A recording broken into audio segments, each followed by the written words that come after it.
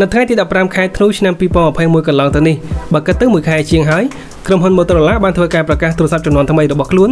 ដែលប្រើប្រាស់ chip កម្ពុជារបស់ក្រុមហ៊ុន Qualcomm នោះគឺ Snapdragon 8 Gen 1ហើយបានដាក់លក់នៅទីផ្សារប្រទេសចិនមុនក្រុមហ៊ុនទូរស័ព្ទផ្សេងទៀតដែលប្រើប្រាស់ chip នេះដូចគ្នានិយាយទៅគឺមុនទូរស័ព្ទ Xiaomi 12ទៅទៀតដែលវាមានពីរ model គឺ Motorola HX30 និង Motorola XS30 ហើយ Motorola HX30 ជា model កំពូលបានមកដល់ដៃខ្ញុំជាង2សប្តាហ៍មកហើយដែរ ជំរាបសួរអ្នកទាំងអស់គ្នាស្វាគមន៍មកកាន់ Channel B Vintage ខ្ញុំនឹងនិយាយលម្អិតពីទូរស័ព្ទដៃ Motorola HX30 នៅក្នុងវីដេអូមួយនេះ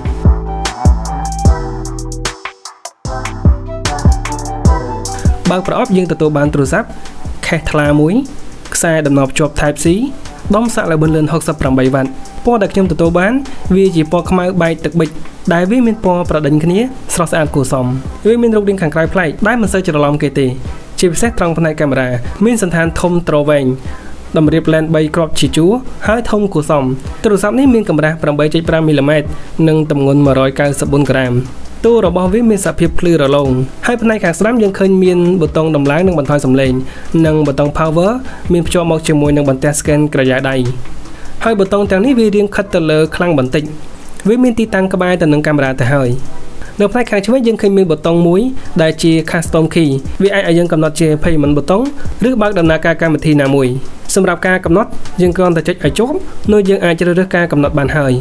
និងនៅផ្នែកខាងក្រោមយើងឃើញមាន run speaker រុនដំណប់ជាប់ Type C និងស្លាប់ដាក់ SIM card ចំនួន2ជាប្រភេទ 5G វាមាន speaker ជាប្រភេទ stereo speaker ដែលមានទាំងផ្នែកខាងលើនិងផ្នែកខាងក្រោមនេះផ្ទាល់ វាអាចកំដរយើងក្នុងការទស្សនាវីដេអូស្ដាប់ចម្រៀងលេងហ្គេមបានមួយអែមវាជះចំមុខពេញទំហឹងតែម្ដងទូរស័ព្ទនេះមានប្រព័ន្ធការពារជំរាបទឹកខ្ពស់ប្រភេទ water repellent design ដែលតាមការអះអាងវាជាប្រព័ន្ធការពារល្អមានពីរស្រទាប់ដែលវាអាចការពារពីការចូលទឹកមានកម្រិតខ្ពស់ជាង water resistant IP68 ថែមទៀតផង ទូរស័ព្ទនេះមានអេក្រង់ OLED មានកម្រិត refresh rate 144Hz ដែលចំនួនលេខនេះកន្លងមកយើងឃើញតែនៅលើទូរស័ព្ទប្រភេទ gaming តែប៉ុណ្ណោះវាមានកម្រិតពន្លឺ500 nit និងអាចដំឡើងកប់រហូតដល់700 nit គាំទ្របច្ចេកវិទ្យា HDR10+ អេក្រង់នេះមានទំហំ6.7អ៊ីងមានកម្រិតបង្ហាញ Full HD+ 18គុណនឹង2400 pixel ក្រៅដោយកញ្ចក់ការពារ Corning Gorilla Glass 5លាតសន្ធឹងនៅផ្ទៃខាងមុខរហូតដល់ទៅ87.6% ទូរស័ព្ទនេះដំណើរការដោយប្រព័ន្ធប្រតិបត្តិការ Android 12ស្រោបដោយ MIUI ចំនួន3ដោយសារតែវាជា version ចិនដូចនេះយើងត្រូវដំឡើងសេវាកម្ម Google ដោយខ្លួនឯង MIUI ចំនួន3នេះមិនមានការកែប្រែខ្លាំងពី Android 12 UI នោះទេយើងទទួលបាន home screen និង lock screen ផ្ទាំងទទួលដំណឹងនិង setting សុទ្ធសឹងដូចទៅនឹង Google Pixel ដែលដំណើរការដោយ Android 12ដូចគ្នា សម្រាប់កាមេរ៉ាខាងក្រៅវាមានចំនួន3គ្រាប់ដែលកាមេរ៉ាកូនមានទំហំ50 megapixel aperture 1.9វានៅទីតាំងកណ្ដាលវាថតប្លង់ទូទៅនិងអាចឆ្លាស់ទៅថតម៉ាក្រូបានកាមេរ៉ាទី2មានទំហំ50 megapixel ដូចគ្នា aperture 2.2សម្រាប់ថតប្លង់ទូលាយក្នុងកម្រិតមុំ114ដឺក្រេកម្រិតមុំប៉ុណ្នេះមិនទូលាយខ្លាំងនោះទេនិងកាមេរ៉ាទី3ទំហំ2 megapixel aperture 2.4ជា depth camera វាមិនមាន lens telephoto នោះទេ សម្រាប់ការថតរូបទូទៅវាដំណើរការត្រឹម12.6 megapixel តែប៉ុណ្ណោះពី sensor ទំហំ50 megapixel ទាំងពីរហើយយើងក៏ឃើញមានបញ្ហាបន្តិចបន្តួចគឺពេលឆ្លាស់ lens ទៅមករវាង lens cold និង lens wide វាមិនសូវស្មូតប៉ុន្មាននោះទេហើយសម្រាប់ការថតរូបវាធ្វើការបានល្អគ្រាន់បើ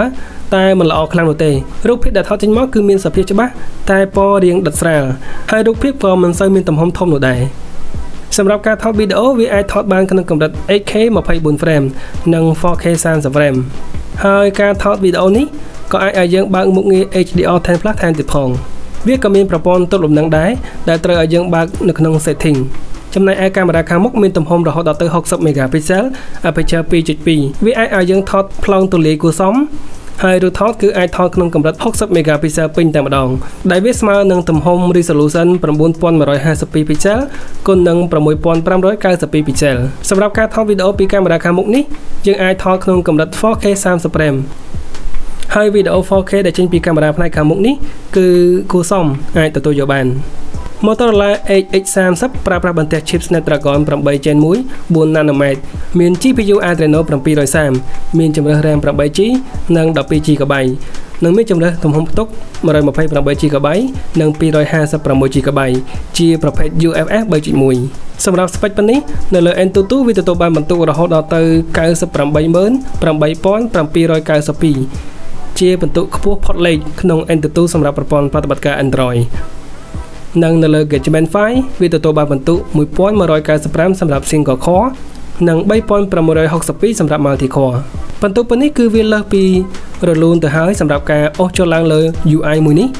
និងអូសហ្គេមធំធំនៅពេលនេះគឺមិនមានបញ្ហានោះទេបន្ទុកនិងកម្លាំងម៉ាស៊ីនប៉ុណ្នេះគួរតែអាចឲ្យយើងលេងហ្គេមដោយរលូនហើយ តែវានៅតែឃើញមានបញ្ហាបន្តិចបន្តួចដែរពេលយើងលេងហ្គេមក្នុងកម្រិត setting ខ្ពស់កប់ជាពិសេសសម្រាប់ហ្គេម Genshin Impact វាដំណើរការបានល្អតែពេលយើងប្រើប្រាស់ effect ច្រើនប្រើប្រាស់ skill ច្រើនវារៀងទាញកម្លាំងម៉ាស៊ីនខ្លាំងពេកហើយ performance យើងនឹងឃើញធ្លាក់ចុះបន្តិចកម្ដៅក៏ឡើងក្តៅខ្លាំងនៅប៉ាត់អវេនកាមេរ៉ាខាងក្រោយចំណែកឯ game Mobile Legends Varis មិនមានបញ្ហានោះទេឲ្យតែមានអ៊ីនធឺណិតល្អទៅបានហើយចំណែកឯ PUBG វិញ យើងអាចបើកក្នុងកម្រិត setting graphic Ultra HD